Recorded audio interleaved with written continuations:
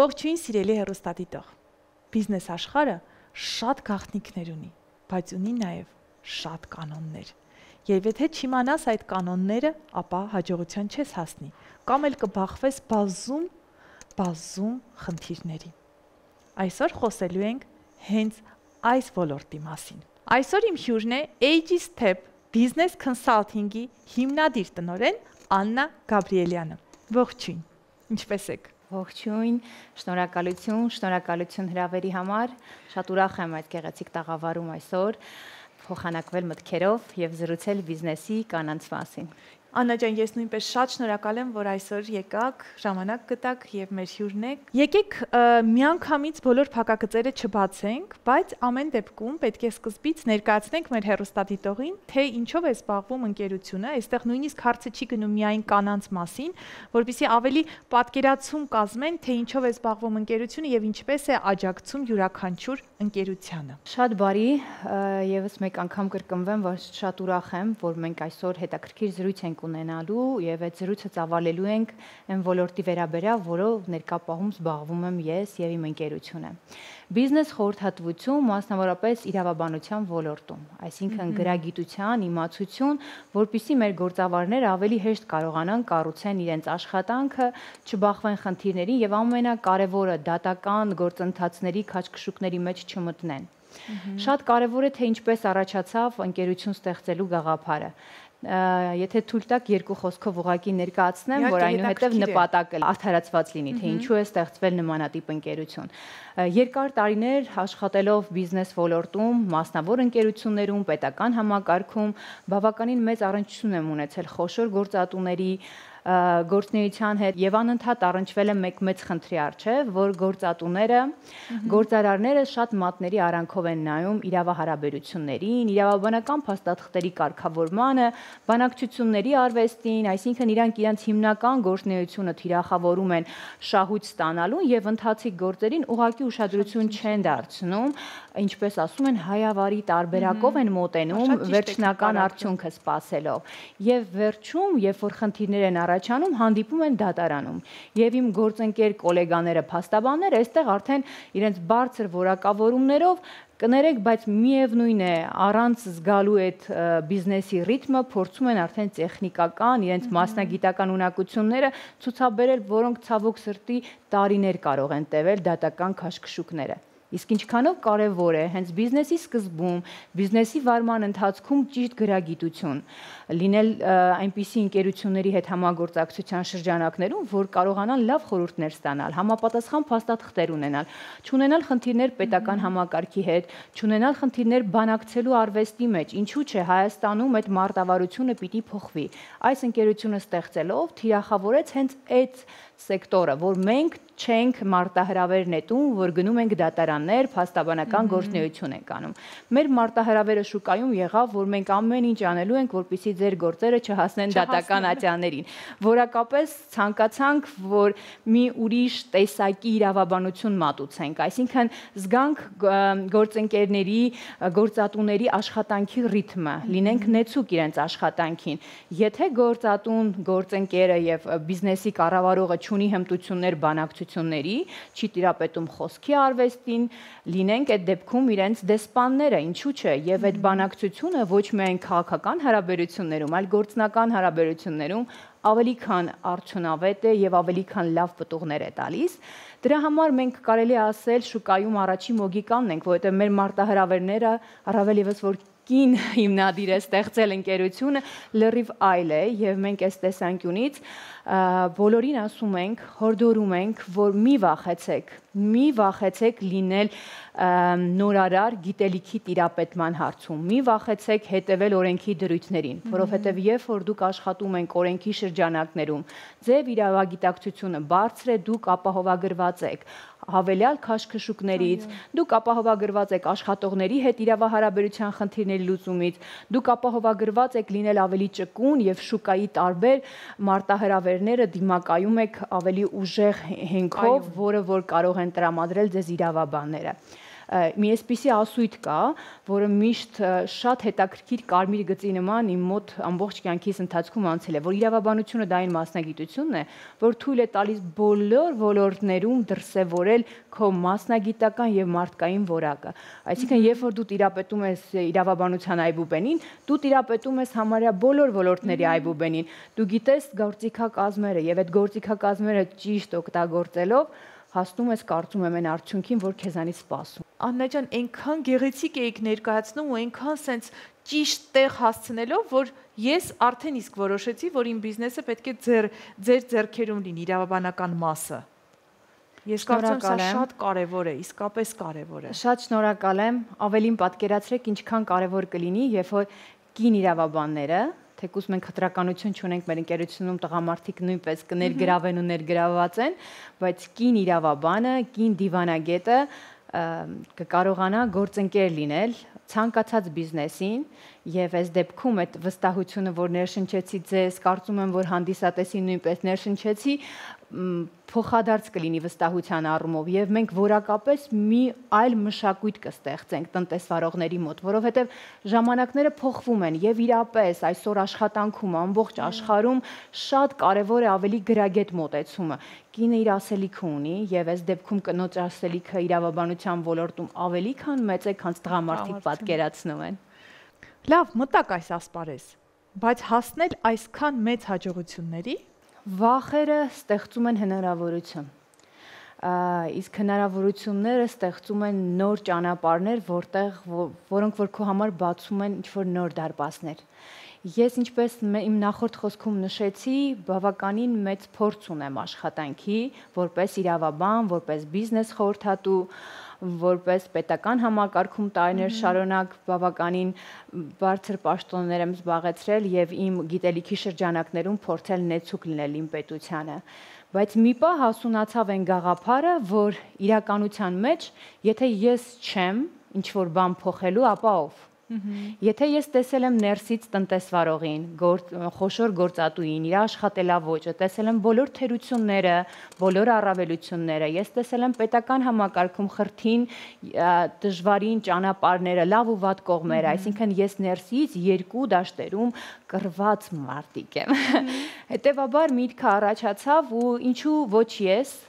Եվ հենց այն ժամանակաշրջանում, երբ որ իմ կյանքում շատ վախերի, շատ հիասթափությունների շրջան կար, ուղղակի մի պահ ես ինձ ասեցի, որ պիտի փորձեմ լինել տարբերվող պիտի փորձեմ շուկա մտնել այն կարգավիճակով, որ իմ գործընկերները նախկինում միգուցե վախեցել են, որովհետև երբ որ դու շուկա ես մտնում ու մարտահրավերդ մի քիչ այլ է, այսինքն դու ասում ես ես եկել եմ ձեզ սովորեցնեմ, ես եկել եմ ձեր կողքը գործընկեր լինեմ, բանակցեմ ձեր փոխարեն, իմ խոսքի ուժի տրամաբանությամբ ձեր բիզնեսում լրիչ ուրիշ որակ մատուցեմ, դպրոց պիտի ասնենք, որ մենք կարողանանք այդ շրջանակում սերմանենք այդ գործատուներին։ Ես գիտեի ինչ դժվարություններ էին ինձ սպասում, բայց հավատացեք, երբ որ դու դժվարին շրջանում ես, քո որոշումները ավելի քան վստահ են։ Չգիտեմ ոնց այլ կանանց մոտ, բայց իմ կյանքի ամենադժվար շրջանում ես ավելի վստահ եմ եղել, թե իմ որոշումների մեջ որ հետ դարձ ճանապարհ չկա, միայն առաջ եւ ցանկացած անհաջողություն դիտարկել եմ որպես հերթական նոր հնարավորություն։ Մարտահրավեր, որը պետք է հաղթահարել ու ավելի կայուն դառնալ։ Որն է եղել ամենադժվարին մասը ձեր անցած ուղում։ Այ կհիշեք այդ ժամանակահատվածը, թե մասնագիտական, թե ուղակի միգուցե կյանքի դժվարին փուլը։ Եթե հեշտ լիներ ճանապարհը, չէր լինի արդյունքը։ Հեշտ ճանապարհը երբեք արդյունք չի բերում, թե մասնագիտական, թե անձնական ոլորտում կնոջ համար, երբ որ դու որակապես ուզում ես քեզանից որևիցե բան ներկայացնես, որպես մասնագետ, որպես կին, հավատացեք, ուրեմն նախկինում շատ դժվարին ճանապարհ կա անցած Իսկ այդ ճանապարհը իմ համար, կոնկրետ իմ համար կարծում եմ, որ իմ հիասթափությունների շրջանակն է եղել։ Երբ որ ես ամեն հերթական շրջափուլին հիասթափության մի մեծ զամբյուղ եմ վերցրել իմ ուսերին, եւ ես չեմ փոխանցել մեկ ուրիշին, այլ հպարտությամբ այդ զամբյուղը դրել եմ իմ ուսերին, գիտակցելով, որ սա էլ է կյանքի մի этап ու այդ հիասթափությունից ես պիտի հասկանամ այն քայլերը, որոնք որ հետագայում պիտի անեմ։ Շատ կարևոր է նաև, որ այդ ընթացքում ուղակի չկորցնես քո եսը, երբեք չվախենաս, չմտածես, որ այն շրջապատը, որ քեզ հիասթափեցրել է, բոլորը այդպիսին են եւ քո մեջ չգտնես մեղավորություն, որ դա քեզանից է, որ ինչ որ մարդիկ իրադարձություններ, հանգամանքներ քեզ հիասթափեցնում են որովհետև մեծագույն սխալը ըստ ինձ, որը նաև իմ հետ է եղել, աշխատանքի ընթացքում, անձնական հարցում, երբ որ դու փորձում ես քեզ որոշակի մեղավորության բաժին հանես եւ ասես միգուցե սա է քո մեղավորությունը, իրականության մեջ պետք է ավելի խոհեմ, մեծահոգի լինել, բոլոր մարդկանց շնորհակալ, բոլոր իրադարձություններին, գործընկերներին, գործատուներին, որոնք քեզ ինչ որ բան են սովորեցրել եւ այդ վստահության զամբյուղը համադրել հիասթափության հետ ու առաջ շարժվել, որովհետեւ իրանք անքակտելի են, իրանք պիտի միասին լինեն, որ դու հետագայում ինչ որ մի բան քեզանից ներկայացնես։ Շատ ճիշտ եք։ Ինքան եկեղեցիկ եք ամբողջ ասում։ Չէ, սիրելի հերոստատիտող։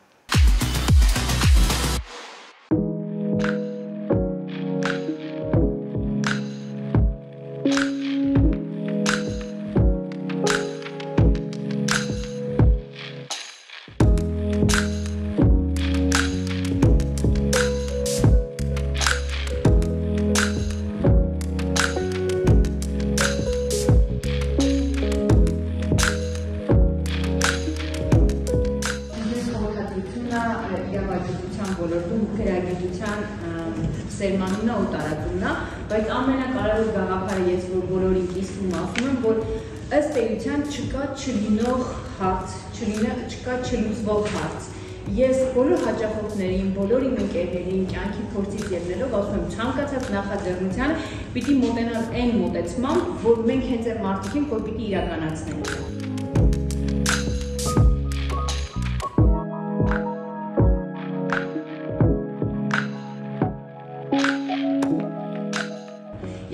կյանքի տարբեր этаպներում շատ հետաքրքիր պրոյեկտների մեջ եմ ներգրաված եղել, շատ մեծ մարտահրավերներ եմ ստացել ու վերցրել եմ ամենաբարձր գագաթնակետը։ Անկամ եթե ես չեմ հասել այդ բարձունքին, այդ ճանապարհը ինձ ոգևորել է։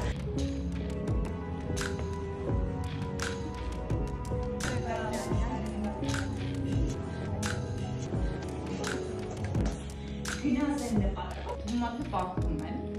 եւ հետո երկու քայլ առաջով իրականում շատ դերմատ են։ Ես ուների զգաց շատ կարևոր է ստա ձեր դիմացի կողմի, որ դուք վճռակցություն ունեցեք, որպեսզի ներքին կարգավորման գնա։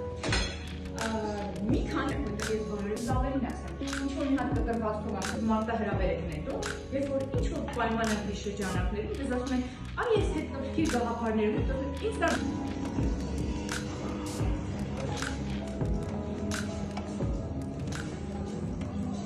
Կանանց դեր այսօր շատ կարևոր է մեր հասարակությունում։ Մենք ասելիք ունենք եւ աներիք։ Եվ հպարտությամբ կարող ենք արձանագրել, որ այսօր բիզնեսում կանայք ավելի քան վստահ են եւ մադամ ակումբում իրենց ներգրավվածությունը փորձի փոխանակում է, նոր հնարավորություններ շփում։ Age Step Business Consulting ընկերությունը, որը ես ստեղծեցի, մարտահրավեր նետեց։ Այն շուկայում, որտեղ նախկինում առաջատարը տղամարդիկ էին, այսօր կանայք իրենց դիվանագիտությամբ, բիզնես խորհրդատվությամբ, բոլոր գործընկերներին առանց խտրականության մատուցում են ծառայություն, որը որ համարվում է առաջնային է եւ այս ամենում մեզ օգնում է շփումը, փորձի փոխանակումը։ Աննա, այ որքանով ես գիտեմ ձեզ եւ որքանով տեսնում են շրջակա այն բոլոր մարդիկ, ովքեր ճանաչում են ձեզ, կարծում եմ բոլորը կփաստեն, որ դուք շատ-շատ նրբազգաց եւ շատ նուրբ կին եք աշխատանքից դուրս այնինչպես է հաջողվում մնալ այդպիսին եւ այսքան դժվար գործ անել դատավարություններ նկատի ունեմ եւ այլն եւ այլն մի անգամ իմ աշխատակիցներից մեկը ինձ հարց ուղեց. Արդյոք ես ինձ համարում եմ ուժեղ մարդ եւ ես պատասխանեցի որ ես ինձ թույլ չեմ համարում չգիտեմ ուժեղ եմ թե ոչ բայց թույլ չեմ համարում եւ դա յուրաքանչյուրիս ընտրությունն է ինչպես ենք մենք մեզ զգում Այո, ես աշխատանքից դուրս շատ էմոցիոնալ եմ։ Ես շատ թույլ եմ, երբ որ ես սիրում եմ։ Երբ որ ես անznուրած սիրում եմ ու նվիրված եմ մարդկանց, որովհետև դա մեծագույն արժեքն է, որ մարդ կարող է կրել իր մեջ։ Դա Աստծո մեծագույն շնորհքն է, որ մարդ կարող է ունենալ եւ վայ ոչ Երանի են մարդկանց, որոնք սիրել չգիտեն, դրա համար խոսելով զգացմունքայնությունից, ինչ շրջապատող մարդիկ գիտեն, որ իմ այս կերպարը, որը որ շատ դեպքերում խիստ կնոջ կերպար է, իրականության մեջ չի համապատասխանում։ Ես խիստ չեմ, ես ընդամենը ինձ պաշտպանել գիտեմ Իսկ կարծում եմ դա ցանկացած կնոջ առաջի գործոնը պիտի լինի։ Մենք չպետք է սպասենք, որ մեզ պաշտպանեն։ Անկամ մեր սիրելի մարդիկ, մեր հարազատները, մենք պետք է մեր մեջ այդ ուժը ունենանք, որ չմտածեն, որ մենք այդ պաշտպանության կարիքը ունենք։ Միևնույնն է, թող իրենք շարունակեն հոգ տանել մեր մասին, բայց ամեն դեպքում մենք պիտի ինքներս մեր մեջ այդ ուժը գտնենք եւ այդ զգացմունքայնությունը երբեք մեզանից չվանվի։ Ես աշխատանքի բերումով շատ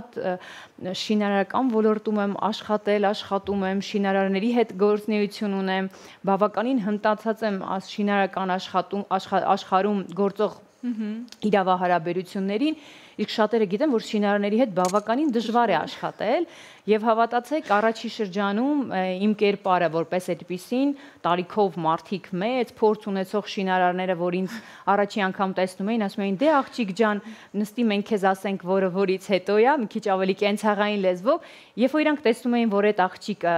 տիրապետում է օրենքին, որ իրանք թույլ կտա գումար խնայել, երբ որ այդ աղջիկը տիրապետում է այն շինարարական բոլոր գործիքակազմերին, որ արժանավետ ճիշտ ավարտական ակտեր պիտի կազմի, այդ մարդկանց վերաբերմունքն ու տոնայնությունը փոխվում էր։ Եվ այդ պահին քո կերպարը արդեն ընդհանրապես նշանակություն չունի, քո խոսքը, քո գիտելիքը նշանակություն ունի։ Հիմա ուրախությամբ կարող եմ ասել, որ Հայաստանի լավագույն շինարարների հետ աշխատել եմ, իդեպ հարգանքներից հավաստիքը։ Ես շատ եմ սովորել իրենցից, կարծում եմ, որ ինչու՞ չէ, կինը նաև շինարարության մեջ, կին շինարարը դա ավելի քան հպարտ է հնչում եւ այս ոլորտում նույնպես իմ ընկերությունը նորարարություններ է անում որ մենք պիտի արդեն վազն անցնենք այն մտածելակերպից, որ ամեն ինչ անենք, հետո թղթեր կդնենք դրա տակը։ Մենք կամած կամած քայլում ենք դեպի ավելի գրագետ աշխարհ, գրագետ իրավահարաբերություններ։ Էնպես որ ամփոփելով ձեր հարցը հարգելի Իրինա, ես կարող եմ ասել, կփորձեմ երբեք չկորցնել իմ զգացմունքայնությունը, միգուցե շատ զգացմունքային եմ, շատ սրտից մոտիկ եմ ընդունում որոշ հարցեր, բայց դա իմ այն կողմերն են, որոնք Վահանի նման ստեղծել են ինձ որպես մարդ, որպես կին։ Այնքան ճիշտ նկարագրեցիք մի տեսակ ձեր կերպարը, որ ես էլ պատկերացրեցի, նույնիսկ չեմ պատկերացնում ձեզ այլ կերպ այսինքն այդ կանացիությունը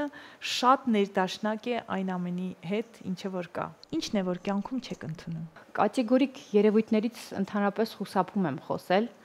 որովհետև կյանքը ինքնին այնքան դժվար է, որ թե մասնագիտական, թե անձնական հարցերում կատեգորիկ ինչ որ երևույթներից խոսելը դժվար է, բայց ընդհանուր մարդկային տեսակի մեջ չեմ ընդունում վախկոտությունը եւ այդ վախկոտությունը լինի աշխատանքում, լինի անձնական հարաբերություններում այնքան վատ ախտածին դրսևորումներ ունի, որ դրանք կարող են բերել ավելի մեծ վատ ազդեցության, քան մենք սպասում էինք։ Այսինքն շատ մարդիկ, եթե թվարկում են ինչ-որ մարդկային հատկանիշներ, շատ դեպքերում չեն նշում վախկոտության մասին, իսկ վախկոտությունը դա ծնում է անպատասխանատվություն, որոշում չկայացնելու ունակություններ, վախկոտությունը ծնում է սեփական ճակատագրից հրաժարվելու գաղափարներ, վախկոտությունը ծնում է ինքնին ինքդ քեզ չընդունելու իրավիճակ։ Դրա համար երևի վախկոտությունը չեմ ընդունում ես այս կյանքում։ Կա մի բան, որից վախենում եք։ Այո, իհարկե միշտ չհասկացված լինելը որոշակի վախեր է ծնում երբ որ դու զգացմունքային ես, դու ամբողջ սրտով ես ցանկացած իրավահարաբերություններում, այսինքն դու ներքաշվում ես ինչ-որ իրավիճակի մեջ, ամբողջությամբ ներգրավվելով, ամեն ինչ տալով որը որ կարծում եմ շատ դեպքերում մասնագիտական առումով պետք է այդպես չլինի, բայց հակառակ դեպքում մենք կառնչվենք նրա հետ, որ մենք չենք ստանա լավագույն արդյունքը։ Իսկ գիտակցելով, որ աշխարհում ամենուր թակավորում է սերը, անգամ գործնական հարաբերություններում, դու պիտի իսկապես այդպես լինես, այնպեսին ինչպեսին որ ես եմ պատկերացնում, այսինքն ամեն ինչի մեջ կիսով չափ չլողաս ջրում, չթրջվես ոդքերը, այլ ամբողջությամբ լինես այդ ջրի մեջ, ընդունելով դրա սառնությունը, դրա ալիքների ցավը, դրա ջերմությունը, այդ ջրի ռոմանտիկան, ջրի բերած էներգիայի ուժը գործի մեջ, այն ռեսուրսը գումարային, այսինքն հիմա ամեն ինչ ես համադրում եմ, որ մեր հերոստատիտողին է པարզ լինի, որովհետև կյանքը անկակտելի է նաև աշխատանքի հետ, դրանք չես կարող տարանջատել։ Այս դեպքում մեծագույն վախը հենց երևի չհասկացված լինելն է այս ամեն ինչի շրջանակում։ Այսինքն ցանկացած մարդ միշտ գնահատանքի է սպասում։ Երբեք չկա որևիցե բան, որ մարդիկ իրենց մարդկային տեսակով իրանք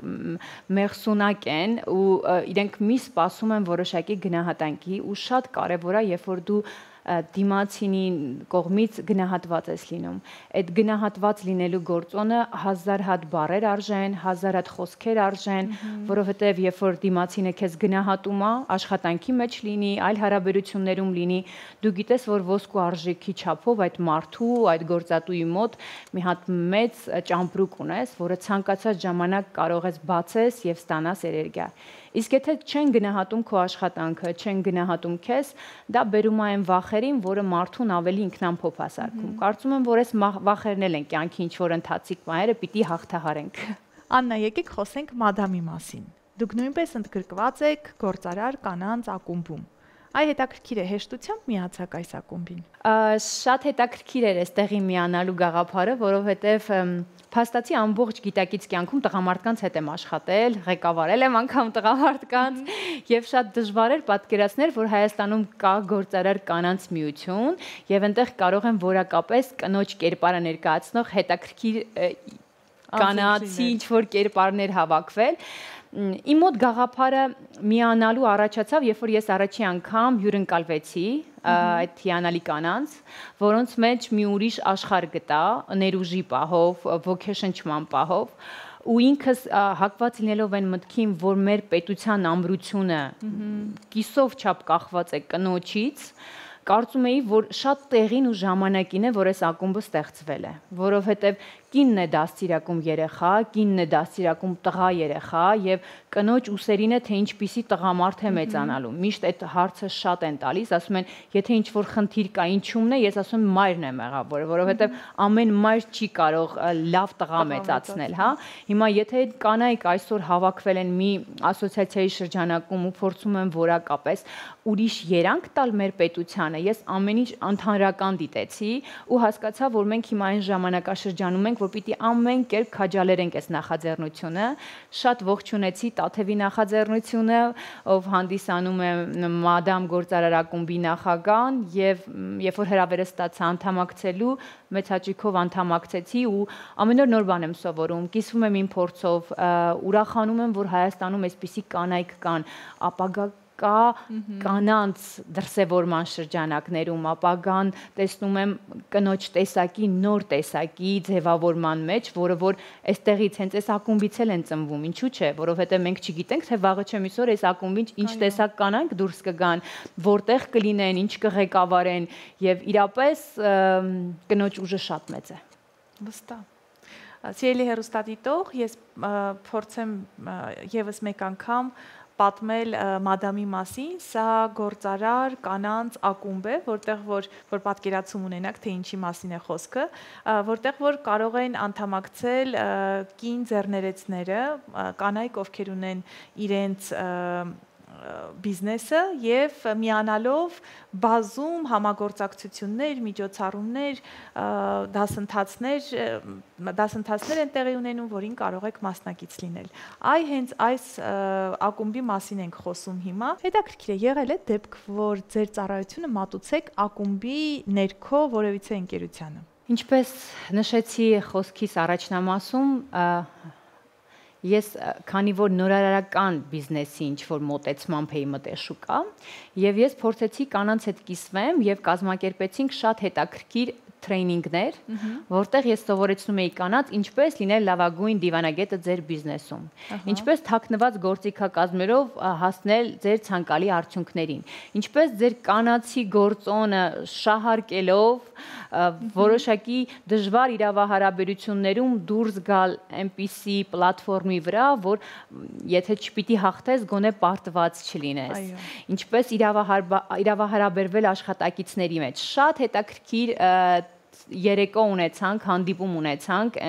շատ ուրախ եմ, որ կանայք ողջավորությամբ ընդունեցին, ես կիսվեցի իմ փորձով, զգացի, որ այն ինչ որ նախաձեռնել եմ հենց այնպես չի, իմ ընկերությունը բավականին հետաքրքիր մոտեցում ցուցաբերեց ու եթե կանայք դա ընդունեցին, այսինքն առաջի ընկալումը կարծես թե դրական էր, ուրեմն մենք դեռ երկար ճանապարհ ունենք այս նորարարության մեջ, ինչի ինքնին կարծում եմ, որ շատ ուսուցանելու խնդիր ունենք ու կանայք շատ լավ ընդունեցին տեսականորեն այդ փոխանակ փոխանցվեց իմ գիտելիքը եւ ուրախ եմ այդ հանդիպման համար շատ Հա, ես վստահ եմ, որ շատ օգտակար է եղել ձեր խորհուրդները։ Որն է ձեզ համար հաջողության հասնելու գաղտնիքը։ Այս հարցը հղում եմ մի կնոջ, ով արդեն իսկ հասել է բազում հաջողությունների։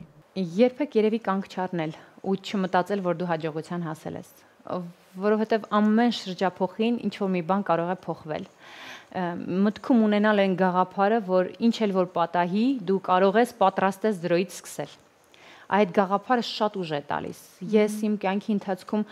շատ անգամ եմ 0-ից սկսել ու 0-ից սկսելը դա ոչնչից սկսել չի, դա փորձից սկսել է ինչպես այդ ասույթը կա, հա։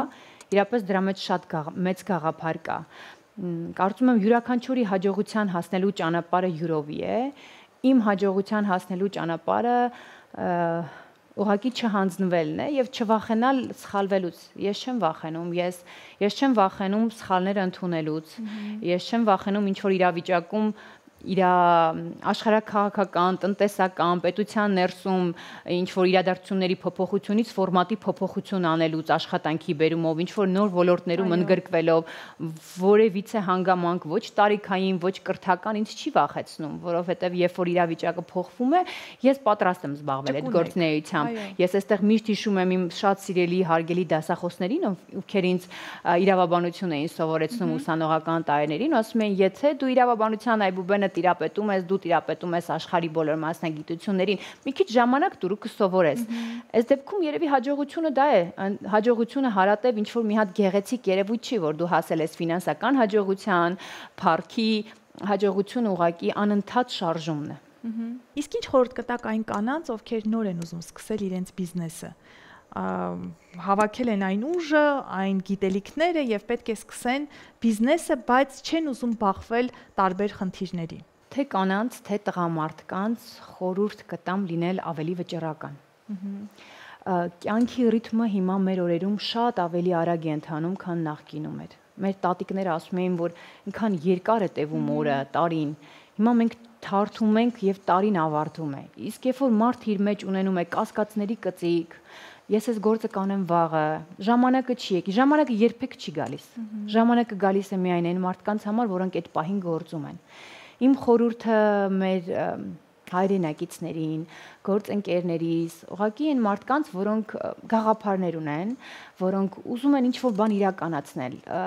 ուզում են աշխատանքի մեջ հասնել նոր նոր բարձրունքների։ Ուղղակի մի հապաղեք, ուղղակի փորձեք փորձեք լինել